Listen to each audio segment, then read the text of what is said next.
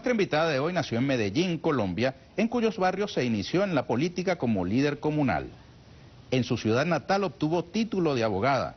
Ha sido parlamentaria y defensora de los derechos de la mujer, de la diversidad sexual y de los afrodescendientes en una sociedad profundamente racista. En Venezuela se siente como en su casa. Piedad Esneda Córdoba Ruiz. ¿Y ese nombre, Piedad?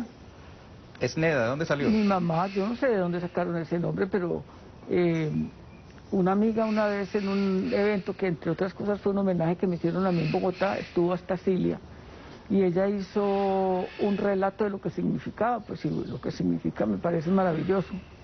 Quítate por favor el tapaboca y nos cuentas qué significa el nombre Esneda, tu segundo nombre. Bueno, eh, ese es un nombre que puso mamá, como igual puso el de Piedad también. Eh, supuestamente es un nombre que significa bondad, em, entrega, y complementado con piedad, no me faltó sino volverme monja, pues. Pero tomaste otro camino distinto al de los hábitos. ¿Al de los ¿Ah? qué? Al de los hábitos distintos. Ah, no, sí, pero claro. ¿Mm? ¿Nunca te pasó por la cabeza? No, no, no, no, no, no, ¿Mm? para nada.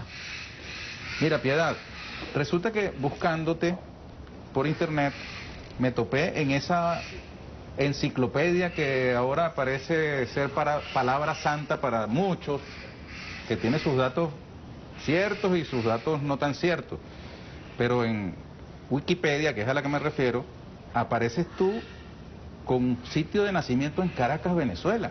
Y dice que, que tú eres una nacionalizada colombiana. No, eso es falso. ¿Está equivocado? Totalmente Wikipedia? falso. Yo soy nacida en Medellín, en Antioquia, de padre negro chocuano y una mujer blanca antioqueña. Pues más paisa no podía ser. Pero pues me, me hubiera encantado nacer en Venezuela, en la tierra de Bolívar me hubiera fascinado. En todo caso, no crea todo lo que lea en Sí, Wikipedia. eh, Mira, pero lo cierto es que tienes una gran compenetración con nuestro país, con Venezuela. total, total, total. Eh, es un país al que yo quiero muchísimo. Lo he expresado de muchas maneras, de muchas formas, entre otras porque me, me compaginé con el proyecto del comandante eterno Hugo Chávez, porque tuve la oportunidad de trabajar muy de cerca como amigo con el presidente Maduro, porque soy muy consciente de todo lo que Venezuela ha hecho por la, por la región, pero sobre todo por Colombia, hasta el punto que cuando se hace la reunión en Cúcuta eh, para la constitución de Colombia, la firman siete venezolanos, o sea, tenemos una, una historia común que además nos hace pensar, como digo yo, que no somos simplemente hermanos, sino que somos hermanos gemelos. Mira, Piedad, tú en una entrevista atribuiste esa inclinación tuya hacia la rebeldía, hacia la irreverencia, hacia la asunción de las causas más difíciles, a que tu mamá era blanca y tu padre negro. Tu mamá tenía los ojos azules, Sí. verdes, Sí, y que en la escuela en algún momento te eh, discriminaban, te llamaban negra, te jalaban por las greñas. Sí.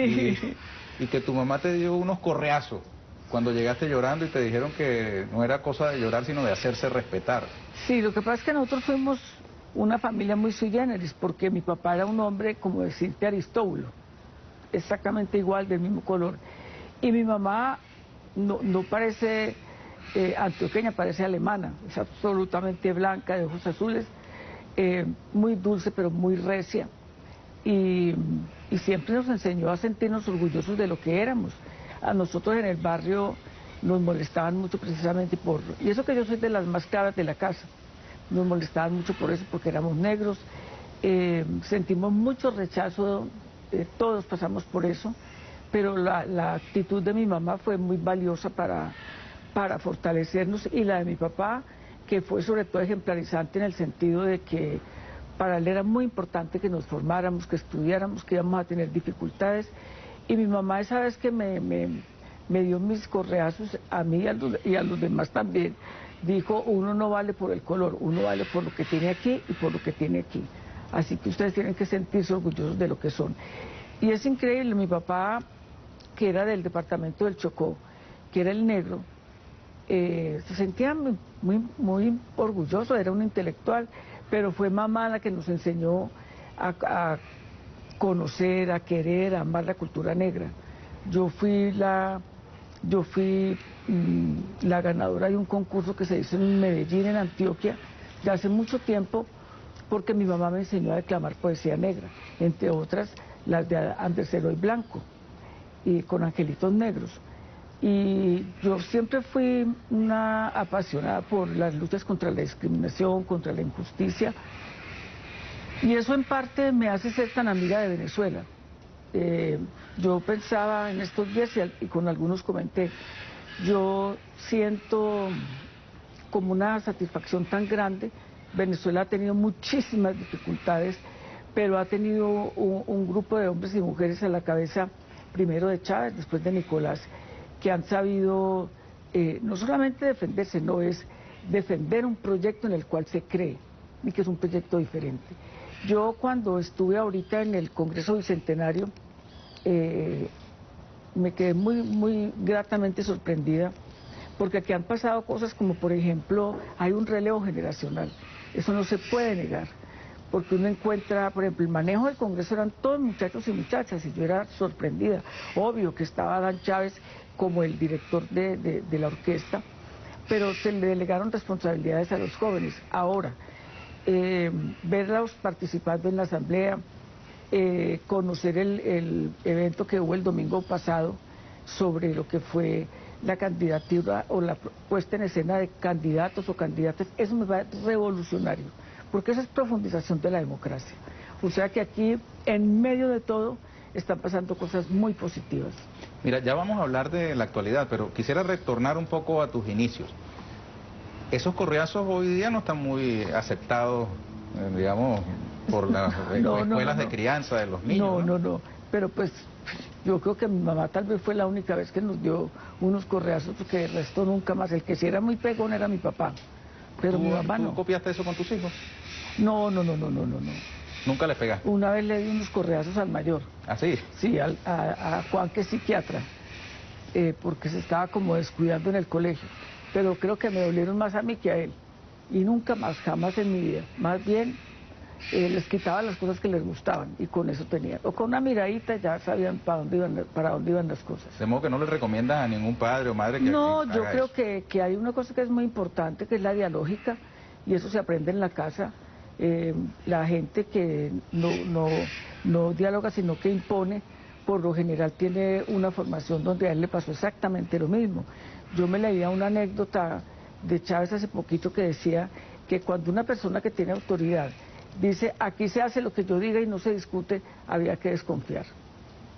Mira, ahora, si un hijo tuyo o una hija tuya sufre lo que tú sufriste, discriminación por su color de piel, ¿qué harías tú con él? No, sufre, han sufrido, han sufrido. Eh, mi hijo mayor, que como te cuento es médico psiquiatra, ahora es senador, que además tomó la decisión de que eso no vuelve. Eh, ¿De que no vuelve a? Al Congreso, que no vuelve a la política, que eso realmente en Colombia es imposible. Pero todos la, todos la han sufrido. Me tocó con él en el colegio, eh, me tocó con nosotros dos ir al colegio donde estaban porque hacían cosas como, por ejemplo, celebrarle el cumpleaños a cualquiera de los niños o niñas. Y como mi mamá es tan blanca, mi mamá muchas veces me ayudaba yendo ella a las reuniones porque yo estaba trabajando y a mi mamá le, le, tocó ir en una oportunidad que estaba esperando para, hablar con la directora del, del colegio, del kinder, que dos señoras hablaban y decían, no, que le vamos a hacer la fiesta de cumpleaños a no sé quién diablos, pero eso sí, que no vayan a ir ese par de negritos, allá sí nos los invitamos, y mi mamá estaba ahí. Entonces, bueno, mi mamá se molestó muchísimo y habló con la directora y le dijo que mi mamá también era maestra. En ese momento era directora de un colegio y cosas no podían pasar, que esas cosas tenían mucho que ver con la educación. Es más, a mí me pasó un chasco eh, muy, muy, pues desagradable y no desagradable, y es que Camilo, mi hijo, el segundo de los hombres, es bastante negro y se enamoró de una pelada del, del colegio donde estaba. Y la pelada no le paraba bolas por negro y se burlaba de él. Entonces, un día él cogió la maleta de ella le echó gasolina y la prendió. Dios mío. Bueno, eso se armó, mejor dicho, qué cosa. Entonces, bueno, eh, como le decía yo al, al, director, el tema no es pagar la, la, mochila, la mochila se paga. El tema de fondo es porque ella, ella, no tiene la obligación de que le guste Camilo, pero sí tiene la obligación de respetar, porque así él sea negro, es igual a todos aquí. Bueno, ellos medio entendieron, pero yo definitivamente lo saqué porque ya él, él no se sentía, pero todos mis hijos han pasado por eso, todos, con todos ha pasado eso. Mira, Piedad, ¿notas más racismo en Colombia o en Venezuela? No, en, Colombia, muchísimo, muchísimo. Yo comentaba con alguien, ver al general Churio, eso no se ve en Colombia, jamás.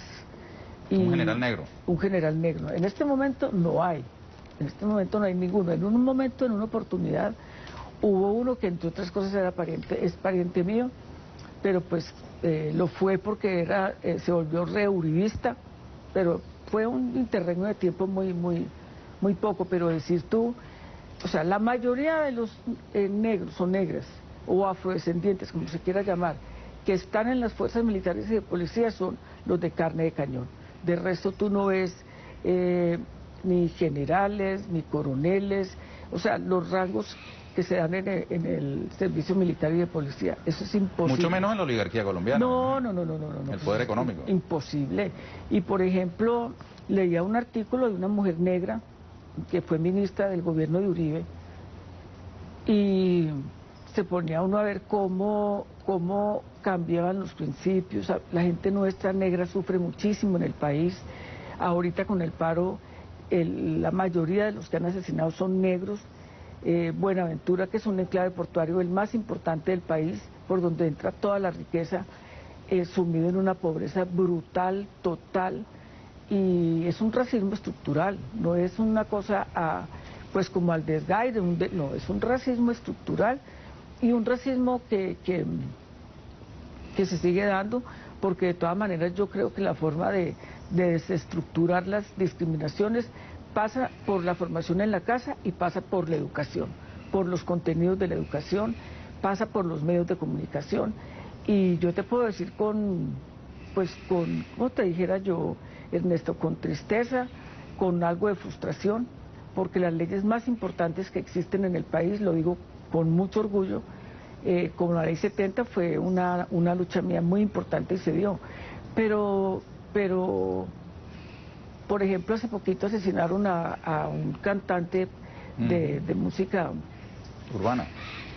Eh, Junior Jane, un negro de Buenaventura, que, además eh, exitosísimo, pero comenzó a, cantar eh, música protesta en contra del paro, de lo que, en contra de lo que estaba pasando con el paro, de la manera como se robaban a, Buenaventura. Es que es más, eh, parece mentiras que en Buenaventura existieran casas de piques donde llevaban a la gente y la picaban y la picaban por, por el liderazgo que tuvieran en la comunidad, por el papel que desempeñaban en la comunidad y realmente nos dieron un golpe muy duro con la muerte de, de Junior, que fue casi un hijo mío.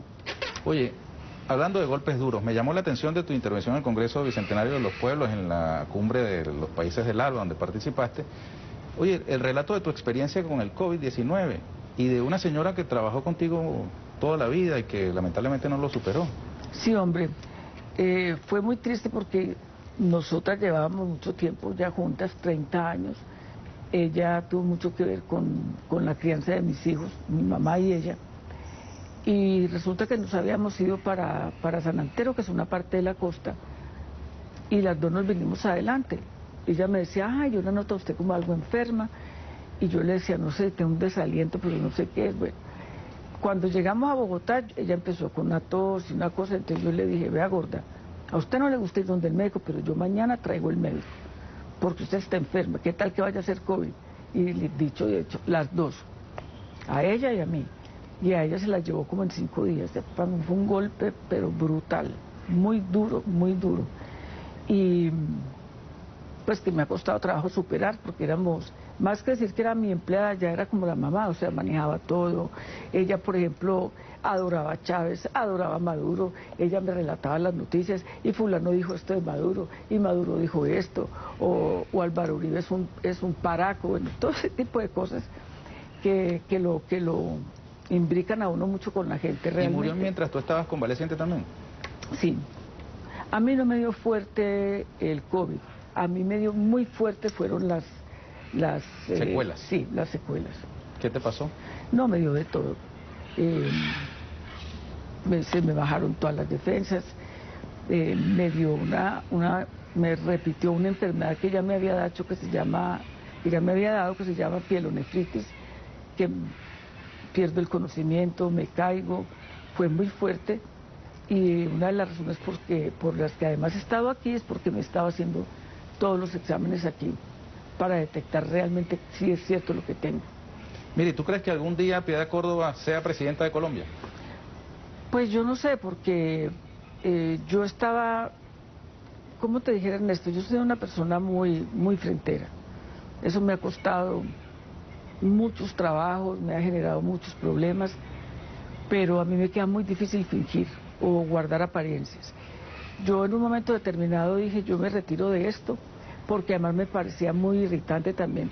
Juan en el Senado y yo por ahí por todos los lados como metiéndome, entonces yo me distancié, que él hiciera su carrera, afortunadamente sale siendo como uno de los mejores senadores del Congreso, cosa que a mí me da un poco de tristeza porque independientemente de todo el, el Congreso de Colombia, que es francamente una olla, sí necesita gente que, que realmente, no que saque la cara, sino que dé la pelea.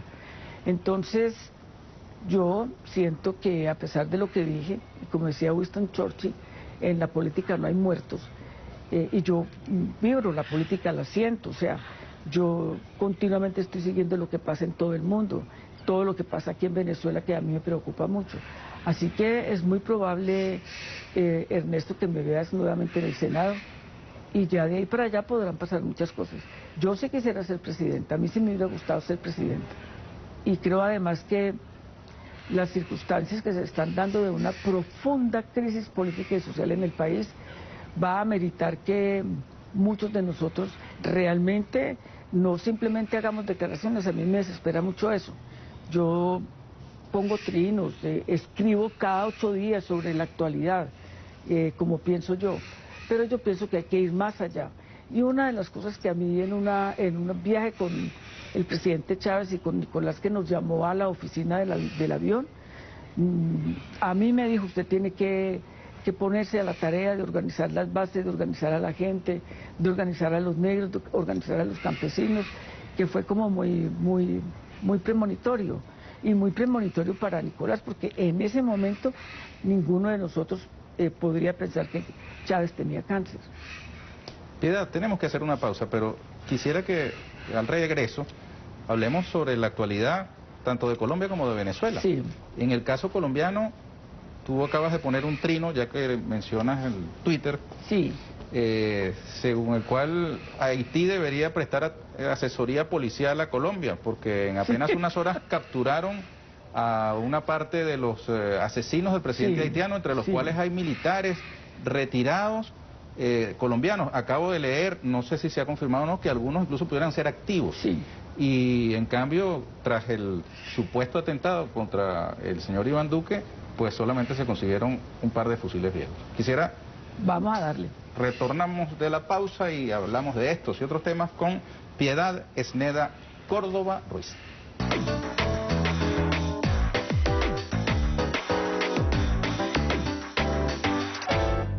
Piedad Esneda Córdoba Ruiz. ¿Cómo es eso? Entonces Haití tiene que asesorar a Colombia en investigación criminal, porque pues consiguieron rápidamente a los asesinos, o aparte de los asesinos del presidente haitiano, y Colombia apenas consiguió dos fusiles tras un supuesto atentado al presidente. Pues sí, yo creo que vamos a tener que llamar a los haitianos porque el señor eh, presidente Duque eh, no solamente no saben quién, quiénes fueron los que atentaron contra él, él, la única respuesta que da siempre es que es Venezuela, Venezuela, Venezuela. Él no encuentra más que decir. Pero además de eso hay otra cosa mucho más grave, y es que son muchas las personas asesinadas durante el paro. Eso ya va por el orden de 84 y resulta que el gobierno no tiene la menor idea ni de quiénes son, ni quiénes están detrás de ellos. Entonces, en Colombia lo que hay es un autogolpe, porque finalmente la policía hace lo que quiere que el ejército hace lo que quiere. El, supuestamente el presidente da instrucciones que para que no maten, que no atropellen, y es como que hablara cualquier bobo del pueblo porque nadie le presta ni cinco de atención. Entonces a uno lo deja muy, a uno lo deja muy, muy, muy cabezón, como decimos en el argot popular. Eh, esa actitud por una razón, que es importante que se sepa. Eh, tú sabes que la JEP, que es la Justicia Especial para la Paz, se crea en el concierto del Acuerdo de Paz. Y de los tipos que están en Haití, hay varios acogidos a la JEP. ¿Por qué? Porque están responsabilizados por la Comisión de Ejecuciones Extrajudiciales. Es decir, los llamados falsos positivos. Exactamente, los muchachos y, muchachos y muchachas que asesinaron para poder cobrar las recompensas, los ascensos, las vacaciones. Entonces, la JEP les da autorización para salir, la JEP les da autorización para salir. Y la Cancillería les expide los, los pasaportes, pues los permisos migratorios para salir. Es, es, muy extraño que salgan 22 tipos y nadie pregunte a qué van y por qué van, que todos son militares retirados, se dicen que hay activos. Entonces, eh, eh, Colombia tiene que dar una explicación. Colombia no se puede salir con el cuento que sí, que sí, que si eran eh, militares retirados, que si, si eran colombianos. es más, llegar hasta el punto de desconocer la, soberanía jurídica judicial de, Haití, diciendo que los devuelvan a Colombia, que los juzgue la justicia penal militar. Es que el hecho, la comisión del delito no fue en Colombia, fue en Haití y tienen que hacerlo allá. Y sabes que eso a mí se me parece mucho a la operación Orión. Gedeón. Y, a la Orión, que fue la que hicieron cuando intentaron matar a Chávez. Ah, los paramilitares de la finca de Actari. Sí. Año 2004. Sí, Con el grupo hay una película muy buena, eh, que la vi hace poquito aquí mismo en Venezuela, sé que no la han sacado al público. De Rubén Hernández. Exacto, excelente, o sea, es un calco total de lo que está pasando. Los tipos no son simplemente militares retirados, son narcoparamilitares. Y lo más grave es que Colombia ha montado un centro de producción de coca, que cada vez crece más, y un centro de formación de, no solamente de márgenes que tengan que ver con mercenarios, no, de narcoparamilitares preparados para incidir en, las regiones que no, que no coinciden con el pensamiento de los Estados Unidos. Te pongo un ejemplo muy reciente, lo que pasó en Honduras. Lo que pasó en Honduras con Celaya, pues no lo mataron, pero lo sacaron en pijama. Ahí se ven todos los tiros en la casa de él. Se lo llevaron, lo tumbaron y, tranquilamente eligieron a otro. ¿Y qué se decía en esos momentos? Se decía que, los que lo que había pasado en, en, Honduras era producido precisamente por paramilitares colombianos. Y en ello nunca el presidente Santos eh, actuó o dijo algo eh, o, siquiera dijo vamos a investigar, no, se quedó tranquilo, porque yo pienso que él también hace parte de eso. Él fue asesorado por un tipo de apellido Narváez, eh, que era también miembro del, Ministerio de Defensa cuando estaba Santos de, ministro y cuando estaba Uribe de, presidente, y ellos fueron los autores de mi secuestro y fueron los autores del asesinato de Garzón, fueron los autores del asesinato del profesor Correa de Andrés y de una serie de, hombres y mujeres eh, que eran visibles en la comunidad por el trabajo social. O sea que esto no es una cosa al desgaire. Ahora Perdón, ¿tú estás señalando al, expresidente Santos de estar involucrado en tu secuestro?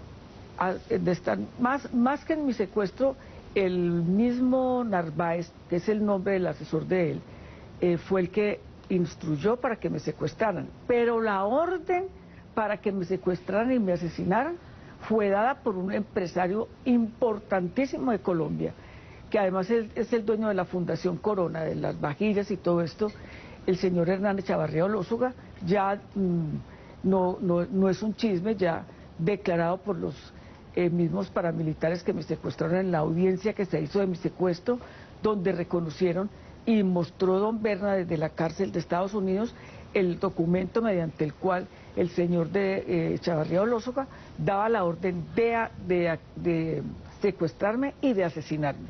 Una es por la presión internacional. A mí me liberan, que fue muy fuerte. Eh, él manda una carta diciendo que el país jamás les iba a perdonar que me hubieran dejado libre y no me hubieran matado. Entonces, detrás de todo esto hay un entramado muy, muy peligroso. Yo personalmente, te lo digo con franqueza, no creo nada en Santos. Ese, ese, primero porque yo no creo en los desleales, más bien de lo que se manejó eh, Venezuela, el presidente Chávez, el presidente Maduro, buscando llegar a acuerdos que les permitieran mantener las relaciones. Sin embargo, fuera de ello, el presidente Chávez, porque a mí me consta, a mí no fue que me contaron, yo trabajé con él, todo lo que hizo el presidente Maduro. Yo soy amiga del presidente Maduro desde mucho antes que él fuera eh, presidente. Hice la entrega, es más, yo recuerdo, yo tengo escenas que las voy a narrar en el libro que estoy escribiendo, de Chávez con un mapa en el suelo, diciendo, señalando, eh, por aquí pueden estar entrando en Colombia. Eh, yo estuve aquí en esta zona limítrofe con Brasil y Amazonas y, y demostrando con mucha sinceridad el interés de la paz con Colombia. Mientras que apenas se firma el acuerdo, al otro día sale con cajas destempladas eh, Santos hablando pestes de Venezuela y de Nicolás, y a los dos días de Cuba, o sea que, ¿de qué estamos hablando? Piedad, ¿a qué fue el director de la CIA a Colombia eh, a finales de junio? Que lo revela el embajador colombiano en Washington. Sí, yo recuerda que, que antes de ello hubo una llamada que fue la única, la primera llamada que le han hecho al lacayo de Duque por parte precisamente de Biden, que no le hablaba desde, que ni siquiera le habló cuando, cuando se posesionó por el juego que él hizo con Trump, por toda la campaña que hicieron a favor de ese señor. Y él lo llama, entre las cosas que dice, había que garantizar los derechos humanos de quienes están en la protesta. Pero por el otro lado, lo que uno evidencia es que se sigue en la estrategia de desestabilizar a, Venezuela, de irrumpir de alguna manera, puesto que luego él sale para donde Bolsonaro, Bolsonaro da unas declaraciones sinceramente eh, eh, muy provocadoras, muy destempladas y muy prevalido de como que tuviera mucho poder y como que se fuera a quedar toda la vida presidente de Brasil. Y esa concatenación se da entre Duque, yo no he visto realmente un lacayo más grande que ese, porque nosotros hemos tenido toda la vida presidentes que hacen lo que les digan los gringos. Yo, por ejemplo, fui opositora del Plan Colombia a muerte y Pastrana me sacó. Pastrana tuvo mucho que ver en mi secuestro y lo voy a decir en la Comisión de la Verdad, porque la persecución fue brutal y no solamente por dar a conocer la, persecución contra mí, sino todo lo que se hace contra la oposición en Colombia, diferente a lo que pasa aquí. En Colombia nos matan, nos destierran, nos exilian, nos, nos, matan con el crimen de odio, nos descaracterizan, nos montan campañas de desprestigio y todo eso obviamente va ligado a buscar la manera de que no haya un cambio, un cambio en el país. Pero yo estoy casi segura eh, que lo dicho por, o la conversación de ellos, tiene que ver de qué manera cambian la estrategia contra Venezuela. ¿En qué sentido, Ernesto? Yo no creo que esos seis eh, viejos aviones F-16 que trajeron a, Colombia eh, vayan a servir para, invadir a, Venezuela. Rusia tiene mucho mejor armamento, Venezuela misma tiene mucho mejor armamento y yo creo que ellos son conscientes de que aquí no puede haber una invasión por aire. Ellos están planeando una, eh, una intervención por tierra, por todas las fronteras y cuando uno menos piense ya se, han ido tomando eh, pues prácticamente todo el territorio venezolano. ¿Es eh, una visión paranoica, conspiranoica, el vincular esa visita y esa histórica relación del gobierno colombiano, de la inteligencia colombiana, de los mandos militares colombianos con los Estados Unidos y los elementos que se han presentado en el continente, el asesinato del presidente haitiano, la misma eh, digamos, situación que se ha presentado con bandas criminales en Venezuela? Yo me acuerdo de una conversación con el presidente Chávez, eh, ya hace mucho tiempo, mucho antes de morirse, que yo le decía a él, eh, presidente, a mí me da mucho temor porque yo siento que aquí se está metiendo el paramilitarismo. Y ustedes no han vivido la guerra y la dinámica que hemos vivido nosotros a mí me secuestra el jefe paramilitar más importante del país, Mancuso. Carlos Castaño. A Carlos Castaño. Que era el jefe de Mancuso. Y, hay gente de empresarios que a usted le dan eh, palmaditas en la espalda, que hacen parte del paramilitarismo, que con lo que se ganan aquí nos matan la gente allá. Y eso quedó demostrado después y después el presidente Chávez se convenció. O sea, mucho de lo que ha pasado aquí con las guarimbas, ese modus operandi es de Colombia. Ese modus operandi es de Colombia. No, yo pues me precio de conocer a Venezuela, me precio de conocer eh, la idiosincrasia de los hombres y las mujeres de Venezuela, eh, gente que no está, no está eh, preparada para la guerra, que no está con la cabeza metida en la guerra. Nosotros vivimos en un país en guerra. Lo del acuerdo de paz no sirvió para absolutamente nada. El país sigue en guerra, pero con una situación peor. Y es que ahora el paramilitarismo ya se pavonea por todos los centros urbanos. Por eso eso que ocurrió en Caracas ayer, no lo dude, no lo dude que tiene alguna relación con, con paramilitares colombianos, porque ellos están organizados para desestabilizar. Fue lo mismo que pasó en Bolivia, fue lo mismo que, que inclusive trató de pasar en Ecuador, o sea que hay que tener muy claro que hay un contingente de hombres y de mujeres eh, paramilitares preparados y además que gozan con toda la permisibilidad del, Estado como tal y, además con la anuencia de sectores de la sociedad. Y por lo tanto eh, yo creo que es, muy importante prestarle atención a eso. Yo te voy a decir una cosa, Ernesto, yo, eh, pues yo me molesto mucho con todo lo de la OEA. Em, pues porque tenemos ahí un mequetrefe realmente de lo más abyecto, eh, siempre haciendo lo que le mandan al magro. Y yo ya no, y yo no creo en Naciones Unidas. Ayer de, ayer de antier han hecho una campaña que firmemos en apoyo de Naciones Unidas. ¿Para qué? A ver, ¿para qué? Eh, Cuba saca, logra 187 votos a favor de que quiten el bloqueo. ¿Y qué bloqueo han quitado? Ese es como un, saludo a la bandera. Cada año nos ganamos de pronto un voto más, de pronto un voto menos, pero que eso obligue a que Naciones Unidas le pida al gobierno norteamericano que hay que levantar el bloqueo contra Cuba, que hay que levantar el bloqueo contra Venezuela, porque es una acción homicida, son acciones, eh, son delitos de esa humanidad que bloqueen los recursos del país, bueno, yo a Venezuela lo considero como mi país, para que no puedan eh, atender las necesidades del país, para que no puedan comprar las vacunas, ¿eso cómo se llama? Eso se llama terrorismo, eso es terrorismo, eso es fascismo, eso es coartar la, soberanía y la libre autodeterminación de los países que no están con ellos. Por eso a nosotros en Colombia, los que no estamos con ellos, pues nos persiguen de la manera que nos persiguen.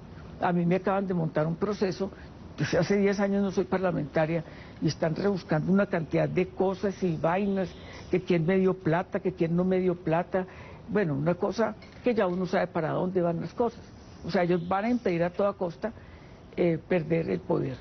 Piedad, pero en este momento en Colombia hay una opción electoral que ha despertado algunas eh, esperanzas en el campo, llamémoslo así, de las izquierdas, del progresismo, así llamado ahora, que es la de Gustavo Petro, quien no tiene la misma relación que tienes tú con Venezuela, ¿no? No, no la, no la tiene, pero además tiene un elemento que a mí me, me, irrita mucho. Y es el hecho de que sin que nadie le esté preguntando por, por Venezuela, tiene que, tener, tiene que decir algo malo, negativo, eh, considera casi que un caballo a Nicolás que no sabe de economía, que Venezuela, que Maduro y Duque se parecen en que son eh, prácticamente dictadores, o sea, cosas que a, mí personalmente, te lo digo Ernesto, no me, no me satisfacen. Eh, él tiene indiscutiblemente un apoyo importante, no quiere decir eso que los votos de la vez pasada todos fueran de él, había un sentimiento de todo el mundo de votar en contra del candidato de, Uribe y mucha gente votó por él. Eso, eso de alguna manera se ha diluido un poco. Em, la gente, por la situación tan difícil que hay en el país, de tanta hambre, de eh, la forma tan, tan mala como han manejado el tema de la pandemia del COVID, bueno, y a eso aunado realmente el, el, aumento de recursos para las fuerzas militares.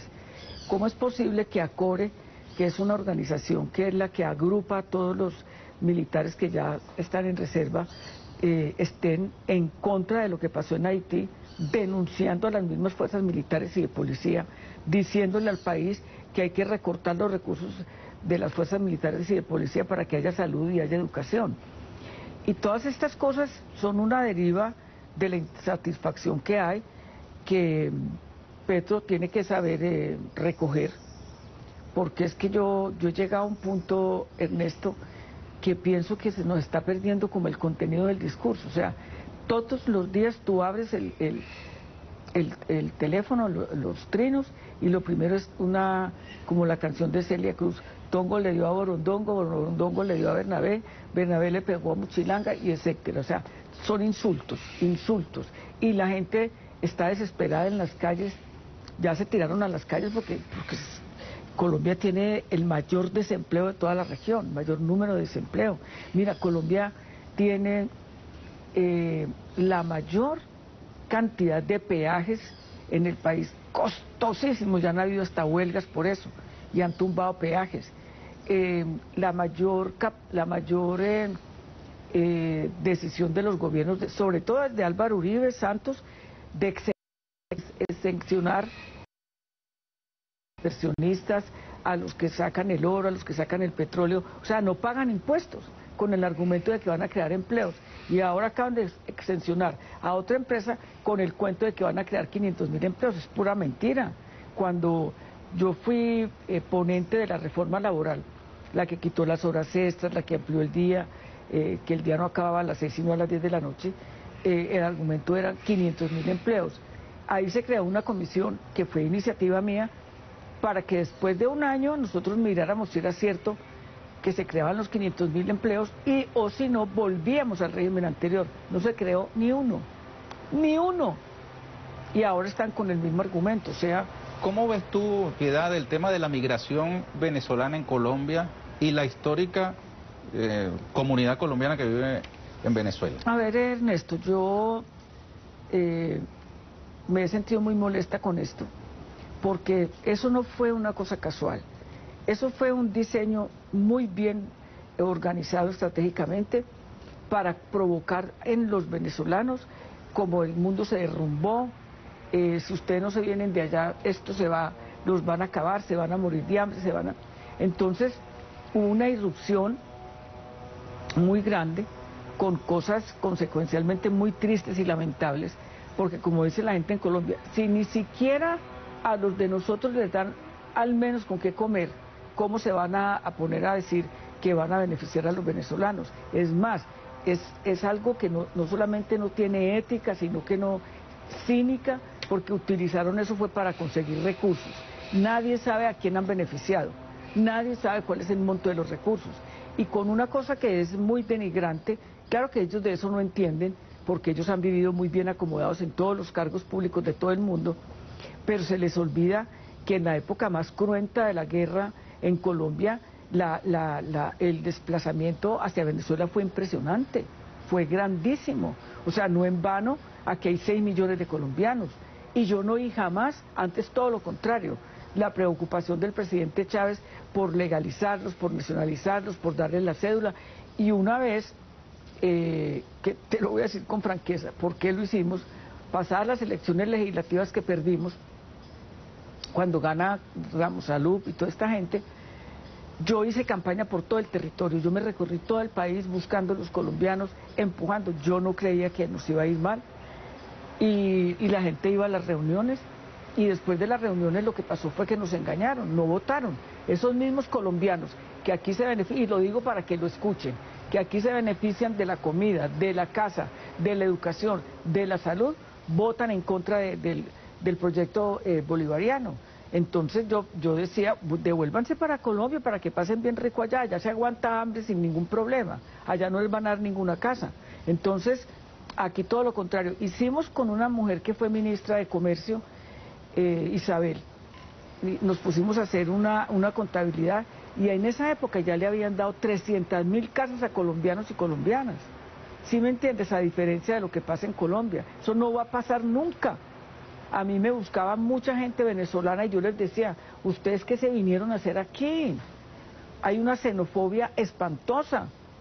Fuera de eso hay un, una, un irrespeto hacia las mujeres venezolanas brutal, asesinadas, violadas. Es más, yo me reuní con la, con la vicepresidenta, a quien admiro muchísimo, y le dije, tenemos que hacer algo porque ellas están, nosotros solo en, en, la finca y en lo que tenemos, tenemos cinco personas venezolanas con todo lo de la ley y lo hacemos con un gusto increíble, pero, pero lo de lo del gobierno colombiano con los venezolanos es lo que decimos en el argot popular, caridad con uñas. No les da vergüenza y se está, ¿por qué no salen a Europa a decir no tenemos la plata para cumplir los acuerdos de paz? ¿Por qué no los han cumplido? Porque a la gente no le han dado un solo recurso. ¿por qué no se van y se sientan con, sus jefes, los norteamericanos, para que eh, trasladen recursos para que se pueda dar el acuerdo de paz? El mascarón de prueba ahora es, no, pues ya hay doctrina, no es que tenemos que auxiliar a los venezolanos, no, es que los venezolanos, ese es un discurso para echarle la gente encima a, yo creo que a Venezuela, yo creo, porque a mí me ha tocado, y se lo pueden preguntar al ministro Arreaza, de conseguir buses de mi cuenta para mandar gente que se quiere devolver, que se quiere devolver. Entonces, eso fue todo un argot eh, publicitario muy bien montado para deslegitimar el gobierno venezolano, decir que se estaban muriendo por falta de comida, que aquí no habían... Eh, vea, hombre, lo de las guarimbas, todo eso fue montado desde, desde Colombia. Ese accionar aquí yo jamás lo vi, pero sí lo hemos visto en Colombia todo ese aprendizaje y en una oportunidad me tocó decirle a este señor López, eh, cuando ganó Nicolás, que él se arrimó pues a, donde nosotros, que estábamos un grupo ahí, Torrijos, Horacio Serpa, estaba yo, que Nicolás tenía que darles unos ministerios. Yo le dije, nosotros no nos podemos meter en eso, pues, ¿cómo le va a ir a decir Nicolás que le dé tres ministerios a López? No. ¿A Leopoldo López? A Leopoldo López. ¿Eso lo planteó él mismo? Sí. Y yo le dije, ¿Sabe una cosa, Leopoldo? En el 2013. Sí. Y me acuerdo, parada en la recepción del Hotel Meliá. Y yo le dije, ¿sabe una cosa, Leopoldo? Ustedes saben cómo llega el paramilitarismo. Ustedes no saben dónde termina el paramilitarismo. Y eso termina a, que se los llevan a ustedes mismos. póngale mucho cuidado a eso. Y nosotros no le retiramos porque nosotros, pues, o sea, yo, ¿qué autoridad? Si yo sé que Nicolás ha hecho muchas cosas para lograr inclusive que eh, escuchar a la oposición, llegar al diálogo. En eso ha sido un maestro, ha sido un maestro porque el presidente Maduro, a pesar de todo, hubiera podido hacer lo que hacen en Colombia. Él ha buscado la manera de dialogar. Y hay una cosa muy bonita, o sea, que la gente aquí en Venezuela se ha apropiado del discurso, que la gente sabe por qué no tienen la comida como es, por qué no hay gasolina, por qué falta el agua, por qué se va la luz porque el presidente ha sido lo suficientemente eh, sincero eh, y yo diría demócrata de explicar a la gente que no es por mala gestión. Un bloqueo no lo resiste ni el diablo, pues, que es lo que le pasa a Cuba. Entonces, ¿para qué me hablan a mí de Naciones Unidas? ¿Apoyar a Naciones Unidas a qué? ¿A, hablar paja? No, Naciones Unidas si hubiera obligado a los Estados Unidos a quitar unas sanciones tan infrahumanas como esas.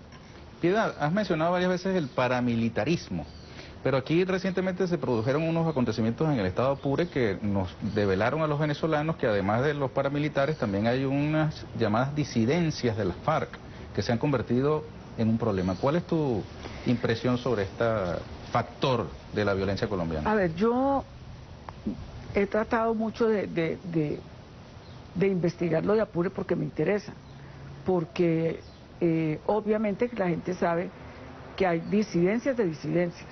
Las disidencias eh, donde estaba Santrich, que entre otras cosas, mira, mira Ernesto, a Santrich lo matan, violan el territorio venezolano, que eso aquí no se ha sabido, violan el territorio venezolano, entran al territorio venezolano, matan a Santrich, lo sacan en helicóptero, se llevan el cuerpo y nadie se dio cuenta que violaron el territorio venezolano a la misma forma, de la misma forma como entraron a Ecuador, bombardearon a sucumbíos, mataron a reyes y luego se llevaron a gente. Entonces, yo creo que, que, eh, yo no tengo muchos elementos, pero yo creo que ahí hay de, parte de las disidencias, como también parte de gente que puede estar involucrada desde aquí, que tenga interés en desestabilizar, y por eso te decía yo inicialmente, es muy importante prestarle atención a eso, porque es que lo que la gente no ha...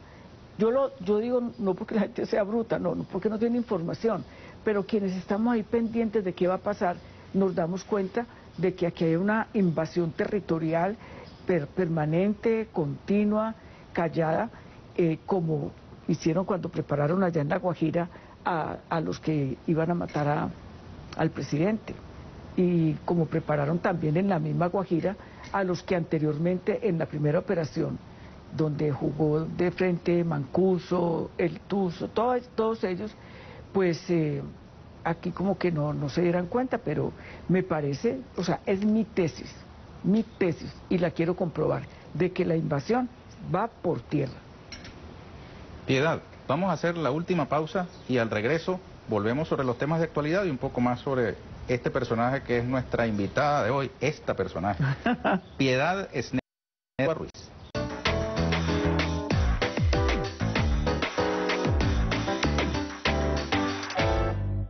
Piedad Esneda Córdoba Ruiz. Tú fuiste factor fundamental de los acuerdos de paz, de la liberación de secuestrados de la FARC en su tiempo. Han pasado muchos años desde entonces y hemos visto que se ha repetido de alguna manera el trágico expediente de la antigua Unión Patriótica, el asesinato de cuadros desmovilizados de las guerrillas que optaron por la participación política, eh, el asesinato de líderes sociales. Lamentablemente tu país, eh, Piedad, nacido de nuestras mismas entrañas, el propio nombre lo da Miranda, lo da Bolívar, ¿no? La constitución, tanto la de Cúcuta como la de eh, Angostura, dan nacimiento a la, a la República de Colombia. El Libertador, cuando da el parte de Carabobo, de la que se están cumpliendo 200 años de esta batalla decisiva, dice, se ha producido una espléndida victoria que da nacimiento político a la República de Colombia. Incluso no menciona a Venezuela en el parte, porque su eh, proyecto era Colombia, no la gran Colombia que después le agregaron, sino, Colombia, a secas. Ahora, esta Colombia de hoy, Piedad, primer exportador de drogas del mundo, primer eh, lugar en fosas comunes, en desaparición de líderes sociales, ahora primer exportador de mercenarios en el continente. ¿Cómo llegó a eso? A ver, pero antes de eso quiero apuntalarte un tema y es que eh, hablar de las disidencias, tú no puedes hablar en género no lo puedes decir que son la misma cosa, hay disidencias de disidencias. Y hay disidencias que ya venían inclusive antes de firmarse el acuerdo.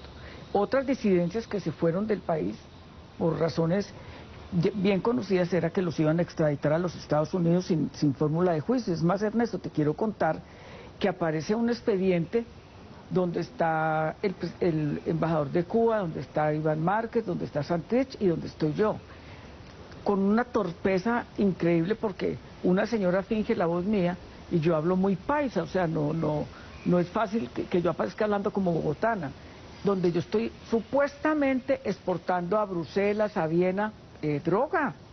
Entonces se logró conocer ese expediente, afortunadamente, y todo eso se cayó. Y en parte eso da lugar a que esa gente, eh, Santriz y todos ellos, un, el ala militar se va del país. Ahora, hombre, es, muy lamentable. Yo, tú no sabes el, el, inmenso afecto, cariño y admiración que yo siento por Bolívar. Y le agradezco mucho a Chávez y a Nicolás que nos abrieron nuevamente como esa ventana que teníamos cerrada para conocer el aporte, eh, la lucha, la entrega por la libertad, porque finalmente era la libertad, era, era la derrota del, del imperialismo, del colonialismo y ver salir a Bolívar de Bogotá donde le decían eh, chorizo váyase de aquí, pues por lo delgado. Y luego ¿Por lo Por lo delgado. Ah, lo delgado. Em, pues sí, verlo morir en las condiciones en que muere.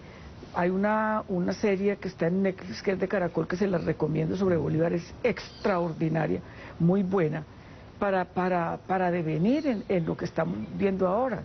O sea, yo eh, siento un profundo, pues o sea, eh, me desagrada mucho la figura de Santander, para ser bien clara. Y bueno, pues Páez hizo prácticamente lo mismo al final con, con Santander, pero, a ver hombre, no puede existir, ah, esto me sirve para decirte lo siguiente, no puede existir un Estado exportador de droga cuando eh, los mismos familiares de Uribe en las maletas diplomáticas llevaban la, droga a,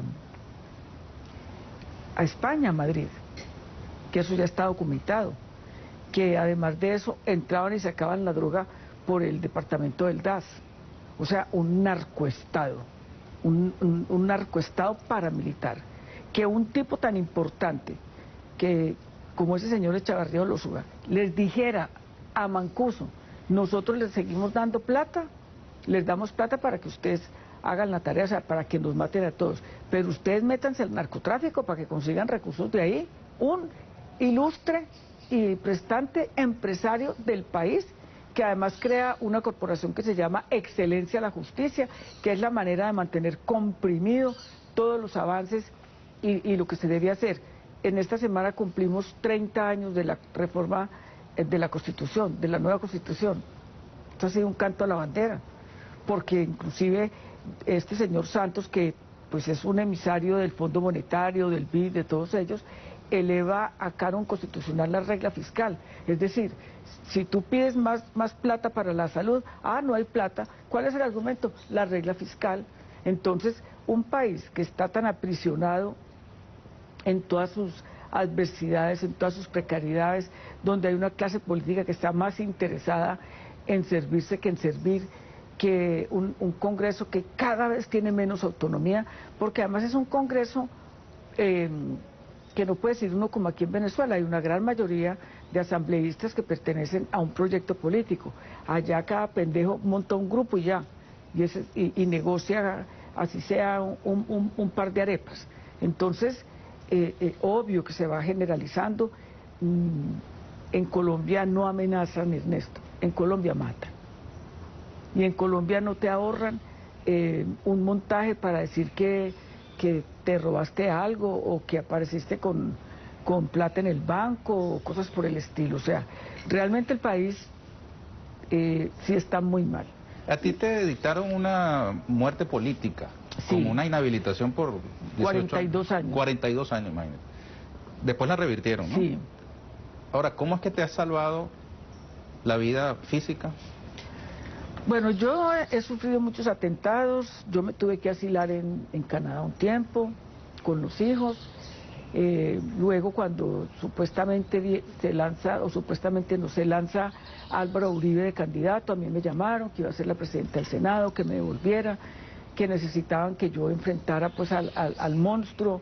Y resulta que me vine y, ninguna presidencia del Senado, pero yo tenía la convicción de que ese señor no podía ser presidente, ese señor es muy malo. Y una de las, en uno de los, de los, eh, de las declaraciones de un juez de medicina legal eh, frente a mi caso, narra cómo hizo Álvaro Uribe para hacer todos los montajes contra mí, una cosa aterradora. Yo me presento a la Comisión de la Verdad por ahí en 15 días para mostrar cómo ha sido la persecución. Y hay 700 páginas de chuzadas, Ernesto, 700 páginas. Y yo no voy a ir allá como para decir, ay, yo soy la víctima, no, para que el país le quede claro que en Colombia hacer oposición es muy riesgoso, que es muy peligroso, porque se ha entronizado el imaginario de que todos los que no estamos de acuerdo con ese, con ese modelo, con ese régimen, somos terroristas o somos guerrilleros, o, si soy... Uno de los apartes de la condena de ese señor procurador que está en la OEA era, uno, era el hecho de decir, y además es amiga de Chávez, quien dijo que ser amigo era un delito, del que fuera, pero a mí me clavó eso. Eh, no ha sido fácil, de verdad. Eh, la vida política me ha sido muy eh, eh, muchas cosas que me gratifican, como haber podido trabajar con Chávez de cerca, haber conocido tan de cerca al comandante Fidel, eh, de ser tan amiga de Evo, de, de, Rafa, de Cristina, o sea, de la gente que de alguna manera sigue eh, tratando de interpelar lo que hay y de defender lo que viene. Y, ellos tienen fuerzas tan poderosas que es increíble que Pedro Santos no se haya podido posesionar. O sea, no, no haya sido Pedro, Pedro Castillo. Castillo, perdón, que no haya podido ser eh, ya posesionado y reconocido legalmente como, como presidente. Y eso tiene la razón de ser en todo esto que está pasando, en cómo se metieron a Haití, en cómo entran aquí ahora a desestabilizar el centro de Caracas, en cómo matan a todos los que han matado en Colombia, que me duele en el alma, porque es gente humilde, gente que se mueve y se, y se mata en las comunidades, que no está buscando cosas distintas que defender la tierra, el agua, el derecho a vivir. ¿Cómo quieren que la gente no siembre coca si la gente no tiene nada que sembrar? Si todo es exportado en Colombia, importado en Colombia, porque ese fue el negocio de Gaviria, eh, hacer la apertura económica para convertirse en, exportador, en importadores. Acabaron el campo, acabaron la industria, acabaron las empresas, eh, acabaron con los puertos. ¿Cómo quieren que estemos contentos? ¿Cómo quieren que aceptemos eso? Y por eso desde aquí rindo un homenaje a los jóvenes que yo diría que han hecho lo que no fuimos capaces de hacer otros, o lo que luchamos y no alcanzamos, y a defenderlos, a rodearlos, em, aunque han matado ya muchos, pues ya van eh, por el orden de 80, más 230 y pico desaparecidos, más 274 de descombatientes, o sea, una matazón horrible. Los desaparecidos son personas cuyo paradero se desconoce, pero se supone que o están prisioneros o fueron también ya asesinados. Sí. Y eso, eso es parte de lo del paro, pero desaparecidos en Colombia la cifra es eh, impresionante, como es impresionante la cifra de, de, gente que eh, internamente tiene que emigrar. O sea, 8 millones de hectáreas arrebatadas a los campesinos. Yo me siento muy indignada entre otras cosas, Santos prohibió por escrito mi participación en el acuerdo de paz y culminó a que si ellos insistían en que yo estuviera, no había acuerdo de paz. Y él es el que da la orden a que maten a Cano, sabiendo que lo cogieron, que era la persona que estaba llegando a acuerdo con él, que estaba negociando, y el mismo general que lo mató ahora está en Yemen, en Yemen, en, en la empresa que ellos montaron en Colombia para exportar por un lado coca y por el otro lado exportar criminales para, para aplastar a, quienes no están de acuerdo con los regímenes eh, imperialistas. O sea que la lucha es mucha, la lucha, eh, como dice Chávez, vive, la lucha sigue. Y... ¿tú compartes esa visión que atribuye a la desmovilización de la guerrilla las posibilidades que ahora tuvo o tiene el movimiento popular colombiano de salir a la calle? Que antes de eso era muy fácil descalificar cualquier eh, demanda como producto de una digamos, agenda guerrillera, castrocomunista, no, no, no, no, no, ahí nadie se puede abrogar nada, ninguno de nosotros. Esa es una movilización espontánea. Y es una movilización, eh, em, Ernesto te lo puedo decir porque yo hice la campaña a la candidatura presidencial. Recorrí todo el país, todo, íntegro, íntegro y lo más triste era ver la cantidad de jóvenes sin, sin poder estudiar, si estudiaron sin poder conseguir un empleo, la cantidad de niñas de 12 años ya embarazadas, eh, la manera como se ha montado el negocio de la, de la prostitución en, en los centros o ciudades que son eh, destinos turísticos. Eh, pero yo, que eso fue movilizado, no, no, no, no, no. Eso, eso es espontáneo, ellos se fueron organizando, ellos se han mantenido. La, la pregunta tiene que ver con que antes de la desmovilización de la guerrilla no era posible una explosión de ese tipo porque había siempre el argumento de que cualquier demanda era no, de una agenda te cuento una cosa, cuando yo fui protagonista de ello, cuando hicimos la marcha más grande antes de que empezara el acuerdo, mucho antes, que fue impresionante, fue en el 2013, fue una cosa pues que se, salió de las manos, negros, indígenas, campesinos de todo el país, fue inmensa, pero no dependía realmente mucho de, la guerrilla, ¿me entiendes? Aunque sí había gente que, que estaba aliada con ellos, pero ahora no. El que se abrogue eso está mintiendo, está mintiendo. Ahora no hay posibilidades porque entre otras cosas los muchachos eh, les han hecho de todo. Eh, al último que yo sé, le mocharon la cabeza y le mandaron la cabeza a un caliente a los compañeros de él. Y la cantidad de muchachos que han metido a la cárcel, o sea, el lío tan macho que tenemos sobrepasa en mucho lo que pasó en, en, Chile y lo que pasó en Argentina. O sea, tenemos muchísimo trabajo y uno de ellos es, derrotar el, fascismo, derrotar la ultraderecha y, y, ser capaces de construir nuestro propio destino desde la perspectiva que nos, que nos lo enseñó el Padre Libertador, que no es nada distinto a que nosotros tenemos derecho a ser libres, a ser soberanos y, y a procurar un destino mejor. Bueno, Piedad, hemos llegado lamentablemente al final y en algunas ocasiones ha estado al borde de las lágrimas, ¿no?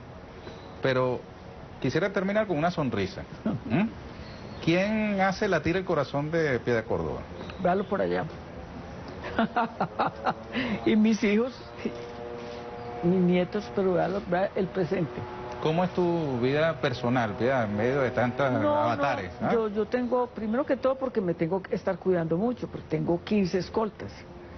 Eh, yo no puedo, como, yo, yo donde puedo salir es aquí o en Cuba, pero en Colombia me queda muy difícil ir a un centro comercial o ir a una... Yo llevo una vida muy, muy minimalista, muy sencilla. Mencionaste que tienes una finca. Sí, con Luis por allá en el llano. Allá pasamos mucho tiempo. ¿Y qué siembran? Eh, tenemos siembra de, árboles frutales, cacao, maíz, eh, caña de azúcar, eh, lagos de peces, sus cerdos, bueno, porque los estudió en Cuba y, su, y su especialidad es esa, la, la comida limpia, o sea, la producción limpia. ¿Tus hijos siguen en Canadá? Mis hijos ya se vinieron de Canadá, Juan, el mayor se devolvió definitivamente para Estados Unidos. Eh, los otros están en Medellín. ¿Tienes nietos? Tengo cinco nietos. ¿Los disfrutas? Pues no los puedo disfrutar como quisiera porque pues ya los tres más eh, de Juan se fueron, entonces ya los veré cuando pueda porque yo pues eh, no voy a ir a Estados Unidos.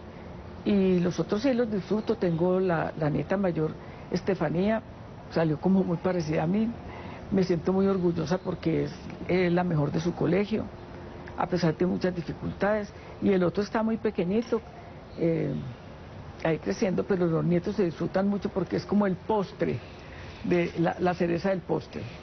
Ahora sí terminamos. Piedad, dar un mensaje a quienes nos han escuchado este tiempo. Bueno, no, eh, un abrazo muy grande, eh, sobre todo un, ideario de, que Venezuela pueda sortear con todos la que la componen, la que los componemos, tantas dificultades por las que ha tenido que atravesar. Eh, sobre todo resaltar programas como estos que sirven mucho para presentar y para que la gente sepa qué pasa en otras partes de, la región y en un país tan conflictivo como es el, eh, Colombia. Y por eso te felicito Ernesto porque pues ya el programa lleva, lleva bastante tiempo y es muy ilustrativo, es muy ameno, es muy agradable y a todos los venezolanos y venezolanas que eh, aquí estaré trabajando fuertemente para las elecciones de, noviembre.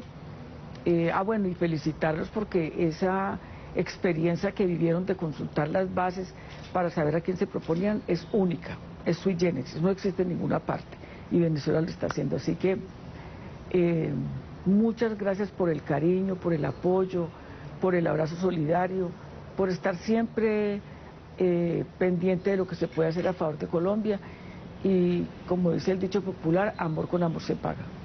Gracias, Piedad. A ti, Ernesto. Colócate por favor tu tapaboca para yo retirarme el mío y despedir. Amigas y amigos, un placer haber estado con ustedes en esta conversación con Piedad Esneda Córdoba Ruiz y los espero en una aquí con Ernesto Villegas, siempre con muchísimo usted.